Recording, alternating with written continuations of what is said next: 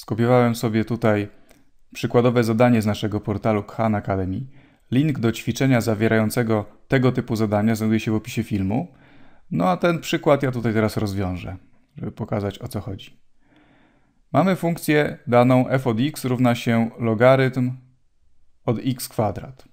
No i teraz naszym zadaniem jest znalezienie funkcji liniowej L od x, która będzie lokalną linearyzacją tej funkcji f w otoczeniu argumentu równego e. No i mamy znaleźć wzór tej funkcji. No i tutaj mamy cztery takie wzory funkcji liniowych do wyboru lub ewentualnie możemy zaznaczyć piątą odpowiedź, że żaden z tych przykładów, żaden z tych wzorów nie jest właściwy. No to o co tutaj chodzi? O co chodzi w tej lokalnej linearyzacji? No ja w poprzednim filmie pokazywałem już taki przykład, a teraz zrobimy drugi. Zaczniemy od narysowania wykresu tej funkcji f. Powiedzmy, że tutaj jakąś sobie skalę wybierzemy. Tu będzie 1, tu będzie 2, tu będzie 3. No i teraz ta nasza funkcja to jest logarytm od x kwadrat. Tak naprawdę to ten kwadrat ja mógłbym tu przed logarytm wyciągnąć i równie dobrze mógłbym zastąpić ten wzór wzorem takim, że to jest 2 razy logarytm x. Wiemy jak wygląda wykres funkcji logarytm. Przede wszystkim w jedynce logarytm jest równy 0. Jak wstawimy jedynkę tutaj, no to będzie 1 do kwadratu też jest 1, czyli logarytm jedynki to jest 0. Czy na ten wzór patrzymy, czy na tym, wiemy, że logarytm jedynki jest 0.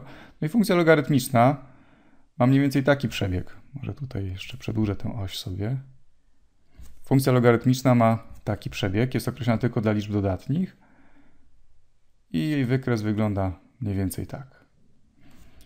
No i teraz co to jest ta lokalna linearyzacja? No chcemy znaleźć przybliżenie liniowe tej funkcji w otoczeniu tego punktu e. e to jest mniej więcej 2,7, czyli e jest gdzieś tutaj. No i tutaj jest wartość funkcji w tym punkcie.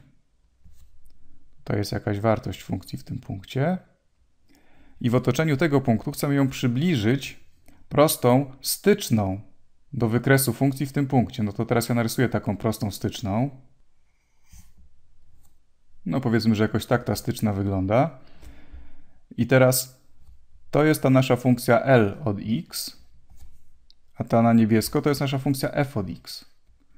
No i przybliżenie polega na tym, że jak jesteśmy tutaj bardzo blisko tego punktu, wokół którego bierzemy to liniowe przybliżenie, no to ponieważ te krzywe są do siebie styczne, że krzywa do prostej styczna, to one się bardzo niewiele różnią. No a im dalej jesteśmy do tego punktu, no to te różnice narastają, są coraz większe. No ale tu w pewnym otoczeniu tego punktu, wokół którego robimy przybliżenie, to to jest dosyć dobre przybliżenie. No i teraz pytanie, jaki jest wzór na tą naszą funkcję L od x w tym konkretnym przypadku, w otoczeniu tego punktu a równe e dla tej konkretnej funkcji, logarytm od x kwadrat. No to żeby to znaleźć, znaleźć wzór tej funkcji, no to musimy najpierw obliczyć, jakie jest nachylenie tej, tej stycznej. No, nachylenie tej stycznej i współczynnik kierunkowy to jest dokładnie wartość pochodnej funkcji f w tym punkcie. No to obliczmy sobie pochodną funkcję f, może tutaj ją obliczę. f' od x. To jest logarytm od x do kwadratu. Pochodna logarytmu, no to jest 1 przez argument tego logarytmu, czyli 1 przez x kwadrat razy pochodna funkcji wewnętrznej, pochodna funkcji wewnętrznej, czyli pochodna x kwadrat, to jest 2x. Czyli x się skróci, będziemy mieli 2 przez x. Taki jest wzór na pochodną funkcji. No a teraz jaka jest ta pochodna w tym konkretnym punkcie dla x równego e? No to będzie 2 przez e. 2 przez e, taka jest ta pochodna.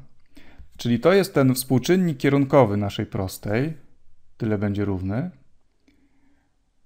No i teraz Oprócz tego, że ważne jest jakie jest nachylenie tej prostej, to też jest pewne przesunięcie tutaj. I najwygodniej jest to zapisać w taki sposób, że jaka będzie wartość funkcji w jakimś takim punkcie, który tutaj będziemy mieli, tej funkcji L. No to trzeba wziąć wartość funkcji w tym punkcie E i dodać do niej długość takiego odcinka tutaj pionowego, który teraz narysowałem. O ile wzrośnie wartość tej funkcji liniowej, jak się odsuniemy od tego punktu E, o jakiś odcinek delta x. No to delta x, jeżeli tutaj jest x, no to delta x jest równe po prostu x minus e.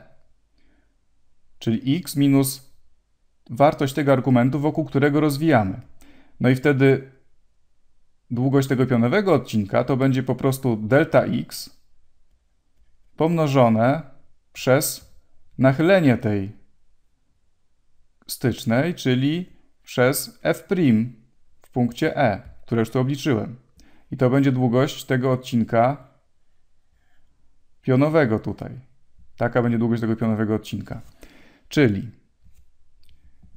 wartość funkcji w tym punkcie x będzie się składała z dwóch, w tym punkcie x, z dwóch części. Po pierwsze będziemy mieli wartość funkcji w punkcie e i do tego musimy dodać f' w punkcie e razy x odjąć e. Bo to jest właśnie nasze delta x. O tyle się przesunęliśmy tutaj w prawo lub w lewo, jeżeli delta x będzie ujemne.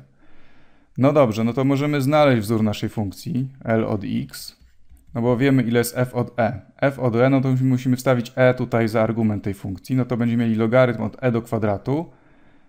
Logarytm naturalny z e do kwadratu to będzie 2. Dodać f', no to już obliczyłem, to jest 2 przez e, 2 przez e, razy x odjąć e. No i taka jest odpowiedź. Taki jest wzór naszej funkcji. No i widzimy, że tutaj on się pojawia jako odpowiedź czwarta. Czyli tutaj byśmy musieli zaznaczyć, żeby uzyskać prawidłową odpowiedź.